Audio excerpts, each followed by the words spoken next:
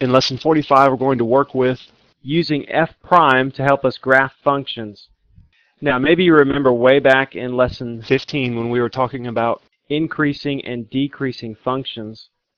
What we said there was as x increased, if the subsequent values of f of x also increased, we considered the function increasing on that interval. Well, what we're saying there basically is the slope is positive. Because if that's the case, as x increases, f of x increases, our change in f of x over change in x, or our derivative, is positive. So we can think of the slope of a function to help us determine if it's increasing or decreasing. And I have what I have some things written up here. If f prime of x is greater than 0 on an interval, and just assume that it's greater than 0 on the entire interval, then f will be increasing. The function will be an increasing function over that interval. If f prime of x is less than 0 on an interval, then the function is decreasing on that interval. And then if f prime of x equals 0 on an interval, f is constant. Think about it. If we had f of x minus f of a equaled 0, then our derivative would equal 0. The slope would equal 0. In other words, that means f of x equals f of a. If f of x minus f of a equals 0, then f of x equals f of a. f is constant, in other words, if the derivative equals 0. Look at this practice problem. I have a function there and several points identified on it. The question is, at what points is f increasing? When is that function increasing? Well, it's going to be increasing when f prime of x is greater than 0, or when the slope is positive. So what we can do is just kind of estimate some tangents through these different locations. And so at A, there would be the tangent. That's a positive slope. So f is increasing there. We could say point A is one of our answers. At B, the tangent would be a negative slope. C, we would have a positive slope. And maybe you get the drift here. You don't have to do a tangent, draw a tangent just to see that the slope will be positive or negative. It's pretty easy to tell that D it would be negative and E it would be positive.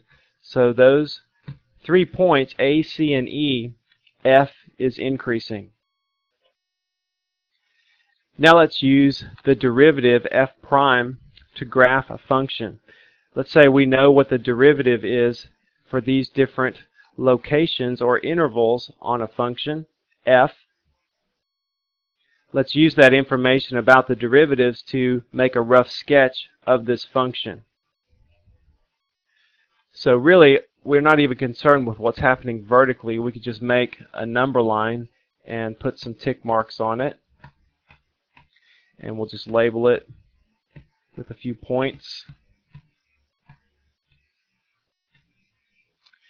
And think about what's happening when x is less than negative 1. The slope is positive. When we get to negative 1, the slope is 0. So that means that's a local maximum or minimum value. Slopes equal to 0 always tell us about a local maximum or minimum. That's something to remember. So before negative 1, we're increasing. We hit negative 1. We have a slope of 0 there. So really that's going to be a local maximum because we have a peak in our function. Then to the right of that, between negative 1 and 1, we have a negative slope. So we'll just go ahead and go on down like this. And then at positive 1, the slope is 0, so we'll need to go ahead and make a trough right there. Then the slope is greater than 0 when we're greater than 1. So we'll just go ahead and start increasing up like that. On problems like this, it doesn't really matter vertically where your sketch is. Like this one, though, the most important things are what the slope was doing and then that we had a local maximum here and a local minimum there. And those should be lined up with the appropriate x values. So basically, that, that has a form of a cubic polynomial function, right? Like x to the third. We graphed the shape of a cubic polynomial function without even knowing anything about the function other than what the slope was doing at different locations, what the derivative of it was doing.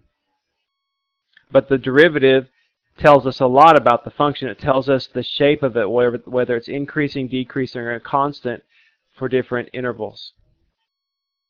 Let's go ahead and do one more problem. This one says, suppose f is a function where f prime of 1 is equal to 0. In other words, the slope is 0 when x equals 1 f prime is negative on the interval from minus 2 to 1 and positive on the interval from 1 to 4.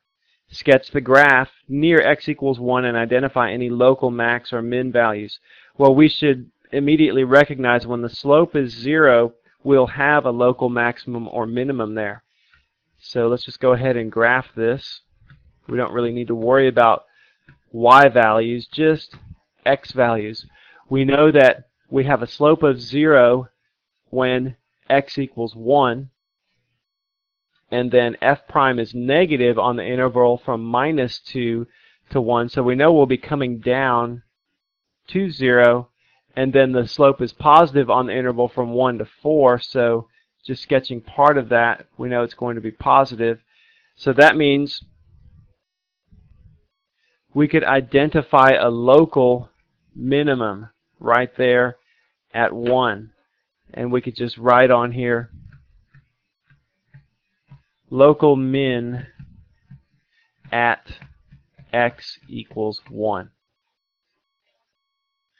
Some other things to think about. If we know that f prime is negative on the interval minus 2 to 1, we know that the function is decreasing there.